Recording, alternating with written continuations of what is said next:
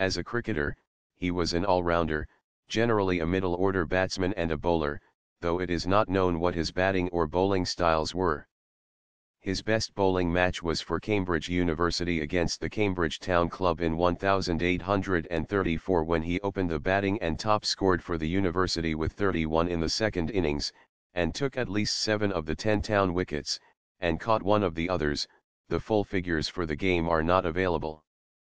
His best batting came in another good all-round game for him, playing for MCC against Cambridge University in 1835, he scored 17 and an unbeaten 43, and also took 7 university wickets, with 5 in the second innings. He played in the Gentlemen v Players matches of 1834, 1835 and 1836 without much success, and in three games for the All England team, which played as England, he made only one run and took no wickets at all.